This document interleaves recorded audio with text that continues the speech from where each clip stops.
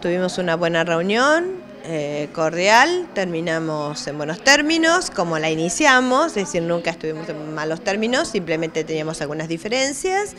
Y bueno, hoy pudimos conversar sobre esas diferencias, las clínicas levantaron el corte desde la cero hora del día de hoy, es decir que bueno, realmente es bueno porque eso nos permite que todas nuestras afiliadas y nuestros afiliados puedan elegir entre toda la oferta prestacional en la provincia y eso es muy importante para nosotros, PAMI.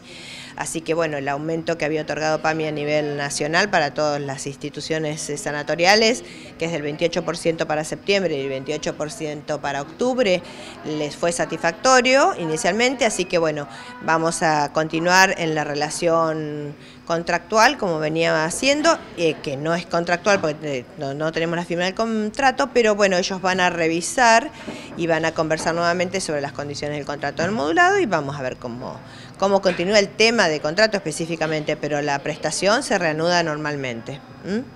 Bien, entonces eh, con respecto al contrato es algo que todavía queda por revisar, por charlar. Son cuestiones de forma nada más, eso no va a cambiar para nada el vínculo y la relación que tenemos con los prestadores y los prestadores con nuestros afiliados. Así que eso eh, está, está consolidado.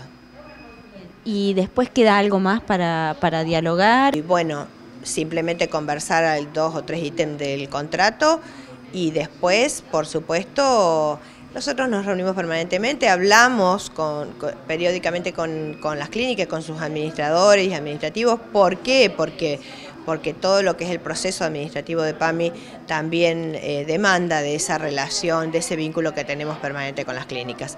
Así que nada, tranquilidad para toda la población afiliada, la prestación continúa, bien, en buenos términos, así que bienvenido y continuamos brindando la prestación.